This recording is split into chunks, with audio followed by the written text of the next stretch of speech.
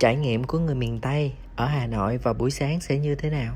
Ý, cà phê trứng nè, cũng đâu có quá xa lạ với mọi người đâu đúng không? Nhưng có sự khác biệt đó nha. Uhm, cũng đâu có gì đâu chủ yếu đó là không khí thôi. Do được uống ngay tại hà nội luôn thì cảm nhận của mình cũng khác đi luôn. Hôm nay có dịp ghé ngang yên coffee là một trong những cái địa điểm mà bán cà phê trứng ngon nhất tại hà nội nha. Thì quân cũng do người bản địa dẫn dắt vào đây thôi. Cái món này á mọi người gọi là sapa. Đây là một trong những món best seller của cà phê yên nha. Một sự kết hợp của whipping cream và cà phê. Vị sữa thì béo béo và cà phê rất là thơm. Vì cà phê nó có cái mùi rất là đặc trưng. Nên quân order một ly cà phê sữa nữa. Đúng là cà phê ở đây rất là ngon luôn á. Cho một đứa mà không biết uống cà phê như mình. Một đứa hay bị say cà phê mà thích uống cà phê. Rồi cái ly cuối cùng là cái ly mình rất rất là muốn thử. Đó là ly cà phê trứng của tôi nè. À nhầm, trứng con gà nha khi mình cầm ly cà phê á, cái mùi trứng nó bay thoang thoảng, mình đã cảm nhận được rồi. Xen lẫn đâu đó là cái mùi cà phê. Sự kết hợp của trứng và cà phê thật là xuất sắc. Rồi tự nhiên người nó lăn lăn, hiểu luôn. Say cà phê rồi đó.